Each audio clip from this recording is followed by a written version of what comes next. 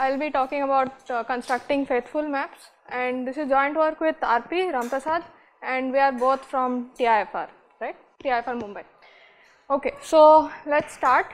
Um, the first question of course is what are faithful maps, right?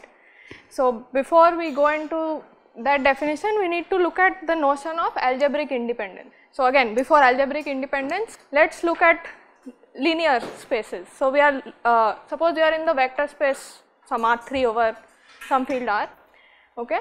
So suppose you are given these three vectors, they are linearly dependent, right, because there is a linear combination of these vectors which gives the 0 vector, this should be the 0 vector anyway. Okay, so they are linearly dependent. Now for algebraic dependence what you need to look at is the space of polynomials. So let us focus on some uh, on the space of bivariate polynomials over some field say complex numbers. So these are clearly not linearly dependent over the field C because there can't be any complex com linear combination of these which is 0. However, if you allow a polynomial combination then you can make this uh, into so because x square into y square is equal to xy whole square there is a polynomial uh, polynomial combination of these three polynomials which is 0 and so they are they are said to be algebraically dependent. So formally suppose you are given a bunch of polynomials over n variables then they are said to be algebraically dependent if there is an annihilating polynomial right a polynomial which is non-zero as a polynomial but if you plug in these fi's into it then it becomes 0. Note that the it is a k variate polynomial so with same as the number of polynomials given and it is over the same field that the original polynomials are over. Okay. So, in such a case these input polynomials are said to be algebraically dependent otherwise they are algebraically independent. Okay. So, one thing to note is that the underlying field is very important right. So, for any prime p suppose we have these two polynomials x to the p plus y to the p and x plus y. Over the complex numbers this these are uh, these are algebraically independent right. But if the underlying field was fp then they are dependent because uh, x to the p plus y to the p is x plus y to the p in fp right. So, now that we have defined uh, seen what algebraic independence is we move into the notion of algebraic rank. As before let us look at what linear rank is right. So, if you are given a bunch of vectors then the size of the maximal eh, linearly independent vectors in this set is, set, is the linear rank right. So, linear rank is well defined because the maximum any maximal linearly independent set of vectors has a unique uh, uh, unique size. So, for example, the, the, the vectors we saw the linear rank of this bunch of vectors is 2. So, similarly the set the uh, algebraic rank algebraic rank is also a well defined concept because a set of um, if you are given a set of polynomials then the maximal set of algebraically independent polynomials in this set also has a unique size. Okay. So that is why the notion of algebraic rank is well defined. And again the example we saw if the field was fp then the algebraic rank of this is 1 whereas if the field was complex then the algebraic rank is 2 okay. So this is what algebraic rank is. It is the uh, size of the largest or maximal algebraically independent subset of a set of polynomials. So now that now that we have uh, the notion of algebraic rank we want to ask whether we can come up with rank preserving maps. So again in the linear in linear algebra if you are given a set of uh, vectors and you know that the linear rank of this set of vectors is k then you can always extract out of it a bunch of k linearly independent subset and which is which will be the basis of the underlying uh, space. So similarly if you are given a bunch of polynomials which have algebraic rank k intuitively it should depend on only k variables right. So a faithful map is a notion which uh, formalizes this. So if you are given a bunch of polynomials with algebraic rank k a map phi which takes the uh, so these are over x1 through xn n variate polynomials. this is a map which maps each xi to a polynomial in ov polynomial over just k variables and this map is said to be faithful if after you substitute each xi by phi of xi's then this set so f1 of phi, f2 of phi up to fm of phi these are now a bunch of polynomials over k variables and the algebraic rank of this set of polynomials is also k. So, is that uh, fine? So, you are given a set of polynomials over n variables, you are mapping it to k variate polynomials such that the algebraic rank of the resulting polynomials are also uh, algebraic rank, rank is also k. Okay. So, the question of course is can we construct faithful maps efficiently and of course it is of independent inter interest to come up with faithful maps, but a bonus is that if you come up with faithful maps you can also uh, solve the polynomial identity testing questions for certain cases uh, in which is an important question in algebraic circuit complexity. So, what is the polynomial identity testing question? You are given a circuit, uh, an algebraic circuit. So, what is an algebraic circuit? The, you, the leaves of it is a DAG where the uh, leaves are some either variables or field constants and every vertex will uh, compute a polynomial in the most natural way and the circuit the polynomial computed by the circuit is the polynomial computed by the root okay and the polynomial identity uh, testing question asks whether the polynomial computed by C is the 0 polynomial. A trivial upper bound on for solving this question is d plus 1 to the n if d is the degree of the polynomial com being computed and n is the number of variables. So, an approach to give a better upper bound would be to reduce the number of variables because the number of variables is in the exponent and you keep the degree under control, keep it to poly d and ensure that what after whatever changes you have made the circuit continues to stay non-zero if you started off with a non-zero circuit. So, let us look at a special case where the input circuit actually looks like this. There is a smaller circuit C prime on top and into it are feeding in some polynomials f1 through fm and you are guaranteed that the algebraic rank of these polynomials is k okay and think of k to be much much smaller than n right. So, the question is if you are given some faithful map uh, yeah if you are given a faithful map then using the fact that the structure is like this and the algebraic rank is much smaller than n, can you make the upper bound closer to d to the k rather than d to the n, okay. And the question, uh, the answer is that yeah I mean it, it is helpful, right. So, so suppose you are given a faithful map, what is the most natural thing you will do? Instead of xi you will be plugging in phi of xi right. So, phi i is just phi of xi. Now, the property you want is that C after you have plugged in phis instead of x's, the resulting circuit should also be non-zero if you started off with a non-zero circuit, right. Now, just look at the simple case when, uh, when uh, yeah, simple case when k and m are same, uh, are equal that is the, uh, the rank is basically all of f1 through fm the algebraic rank is k that is all of them are algebraically independent.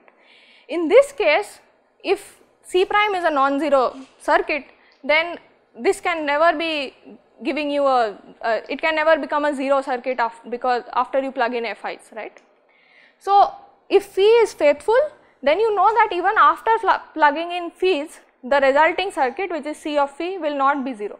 So, you have the required property but it is a fact and it can be proved not a very difficult proof to uh, is that even in the general case when you are just given that even in the general case when the algebraic rank is smaller than the set of polynomials there also if you plug in a faithful map then the resulting circuit C of phi continues to be non-zero if you started off with a non-zero circuit okay and yeah I mean this was proved in BM so this is bit uh, Beecken Mittmann Saxena and uh, ASSS later but yeah Cool. So, now that we know what faithful maps are and how to uh, how it can be used, we will go into how we can construct faithful maps, right.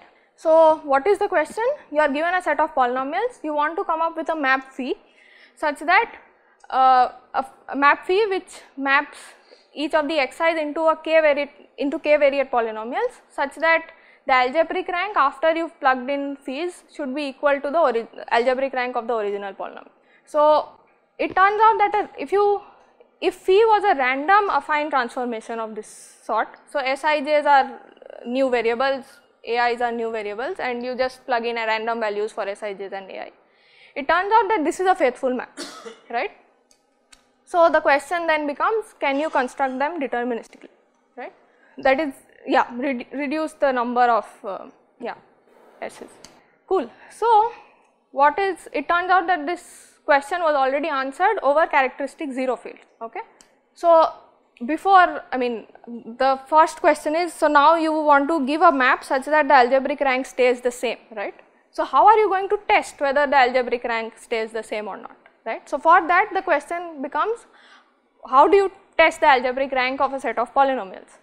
So, one approach could be that find the annihilating polynomial, but it turns out that that is a hard problem it is like #P-hard to compute even the constant degree, right, uh, constant term. So, you need a different criterion, okay.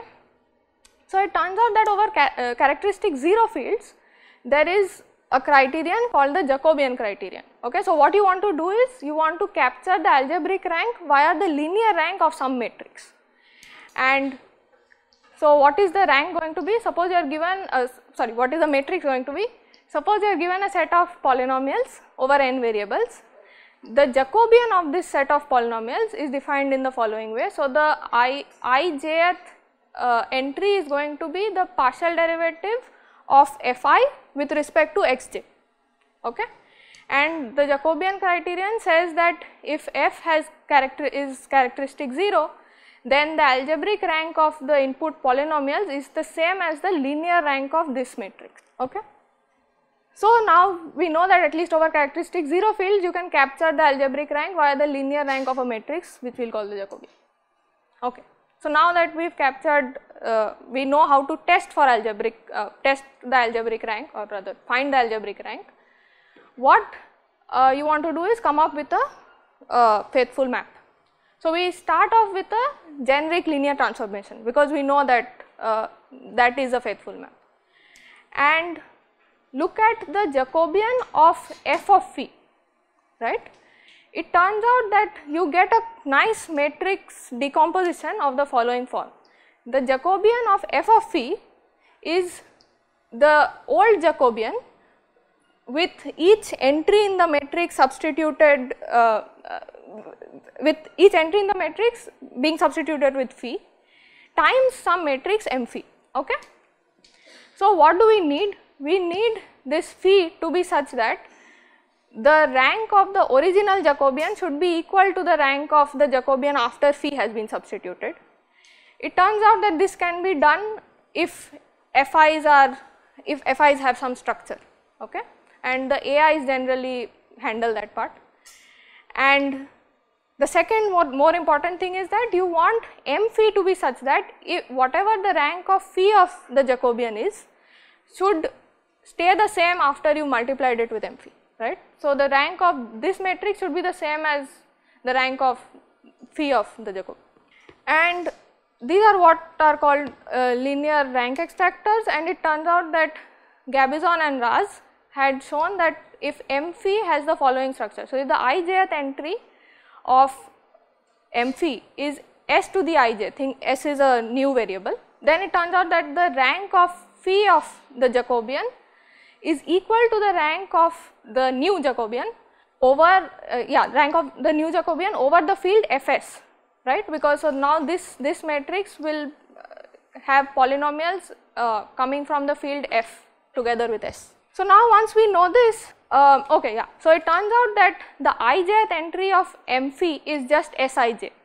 So now if you know that this is uh, this is a linear rank extractor then then the following map becomes a faithful map. So, it is really that simple for characteristic 0 fields. And so, uh, BMS uh, showed that this was a rank extractor and used it to give PITs for uh, certain uh, set of uh, in certain cases and Agrawal, uh, Saha, Saptharishi, Saxena used the same map to give PITs for more classes of circuits.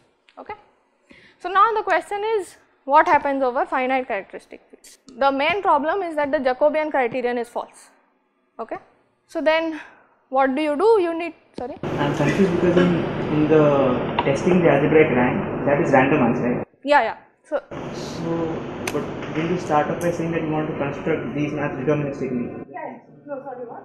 The, yeah, it's a randomized test, but I mean, you, so it's a randomized test because you need to find the rank of this, when the randomization comes only in the fact that you need to find the rank of this matrix. But this, the testing the rank doesn't come into the algorithm, it is just an in the analysis and the, I mean, the, this rank is, you can check the rank over fs, but it turns out, yeah. Um, does that answer your question? But the testing, the testing algebra. Know that for random SIs, the, the random linear transformation would give you a faithful map, right? Yeah, yeah. So then, like, what is the No, objective? so the thing is that so here also there is a so now this is over just one variable and th- this this has an extra variable s right. So to get it, what happens is that there is no one uh, one faithful map. What we will be what this gives is a family of faithful maps for for which is indexed by the variable s. And it turns out that for some good cases a very few uh, uh, you just need to run over a few s's. Does that make sense? I mean so this is a family of faithful maps which is uh, indexed by the variable s. So for different different s's this is a faithful map. If you put s at random it turns out to be faithful map. What you want to give is a small family of s's for which any if you give any set f1 through fm one of these fi's is going to be a faithful map. And it turns out that for uh, some structured fi's and when, when everything is good. Of uh, Yes. SIs, is that for yes. Yes. yes. Okay? So for finite characteristic field the jacobian criterion is false. Right? So what we need to do is we need to look at look further into the taylor expansion in some sense so it turns so if you look at the taylor expansion of any polynomial around a point z then the first few terms is what is captured by the jacobian right so what Pandey, Sinhababu and Saxena said is that for finite characteristic fields we need to look further into the ex expansion. Until when do we have to look? You have to look till the degree equal to the inseparable degree of fi's many terms. So, this is the linear part because each xi is uh, has degree 1. It turns out that for characteristic uh, finite characteristic fields you need to look at terms up up till the degree of x is equal to the inseparable degree. Okay? And what is the inseparable degree? Given a set of polynomials fi's you uh, i mean i am not going to be defining it. I am not going to be defining it uh, given a set of polynomials fi you can think of this as a parameter which somewhat captures how many repeated roots it has in the extension field where it completely factorizes okay? But for uh, you don't need to go into that. Just think of it as a parameter which is fixed given a set of polynomial okay? So pss what they showed is that for finite characteristic fields you need to look at this new operator which is ht which looks at the uh, taylor expansion up till the degree tth component of x. And what they essentially show is that the algebraic rank of fi's are captured by a matrix of by this matrix okay? But it that's not exactly what they say. What they say is that suppose you are given a set of polynomials they are algebraically independent if and only if this matrix has full rank over fz so z is a new variable which has been introduced by h's. And it's not just that the linear rank of htf1 to htfk has to be full.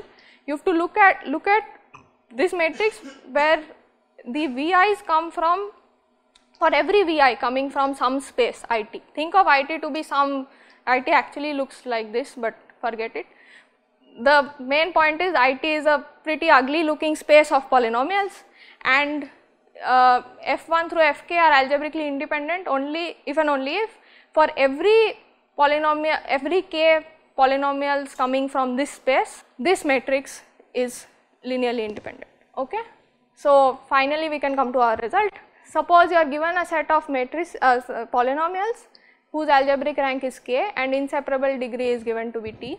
Then we can construct a faithful map or family of faithful maps uh, with uh, a new variable s such that the algebraic rank of this is equal to k, yeah, okay, is equal to k. The difference is that the earlier thing was uh, giving the algebraic rank over fs. So, these polynomials are now over fs, the underlying field is fs. It was giving uh, the characteristic 0 setting, they were being able to give a faithful map with uh, the algebraic rank being equal even over fs. We are not able to do that because of the ugliness of the IT, but yeah, we can give uh, it over f and it turns out that for PIT applications this is enough. So, so now for yeah for some structured f these are just examples for some structured f we can give such faithful maps and we can use it for PIT. Okay. So, just a very high level overview of the proof it will follow very similar to the characteristic 0 setting only that I mean yeah eh, the calculations are much more tedious.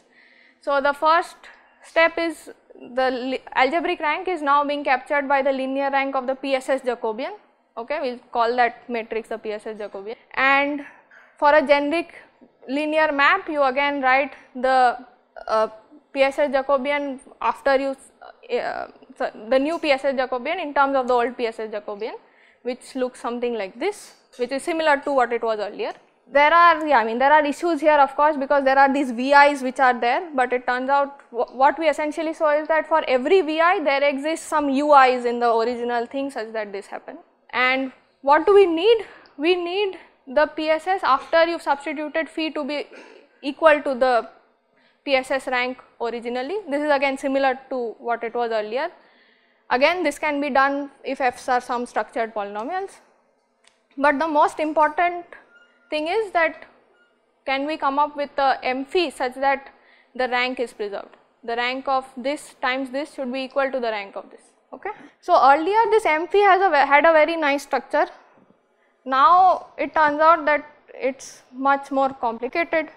So, the original m phi if you can think of it is just in this block 1. So, what is this matrix? This, this is labeled by monomials in x of degree up till t and monomials in y of degree up till t, everything other than these blocks is 0. So, it is a block diagonal, it has a block diagonal structure and each block is like I mean the rows and uh, columns should have the same degree then then for those are the blocks basically. This is when both of them have degree 1, this is when both of them have degree 2 and for degree t. Okay, so, it has this structure and the bigger problem is that earlier we had that m phi of ij was just Sij. So, if you knew what the a linear uh, rank extractor you could just put that directly in. Here these blocks are correlated right. So, you only have a handle on what you can substitute this first block to be. Once the first block is fixed all the other blocks are also fixed right. So, that is why yeah th that that is where the hurdle comes in. But so again taking inspiration from the previous case what we do is that we define this first block in this way okay? So it, earlier it was just s to the ij now that now it is going to be replaced by a weight of i okay? Earlier weight of i was just i. But now it has to change slightly and again weight of i is not very good to look at so it, but it turns out that if you for some uh, correct definition everything works out nicely and you get a faithful map which has this form okay. So, this, this is essentially our faithful map with a lot of things hidden but yeah. Okay, so that is almost the end. Uh, what I want to look at are some open threads. As I said, we, we were only able to construct F faithful maps. I do not think we, whatever this, the maps that we gave are also FS faithful. So, maybe we will need to come up with a different type of maps which are FS faithful. And the improved dependence on inseparable degree as, uh, I mean what we are giving is a family of maps and we can give we can say that deterministically give you a small family only if the inseparable degree is small. So, if only if it is bounded can we give a poly sized family of uh, faithful maps. So it would be nice if we can handle higher inseparable degree. The yeah, I mean the main problem is that the PSS Jacobian is very big if the inseparable degree is not bounded. That is where the main problem comes in. But yeah, still can we can we do that? And more recently, uh, Guo, Saxena and Sinha have come up with a different characterization of in uh, algebraic independence, but this is not uh, I mean yeah it is not algorithmic right, but still can yeah it is not algorithmic, but it does not depend on uh, inseparable degree. So, can we make an algorithmic version of it somehow and so that we can use it for PIT. Thank you.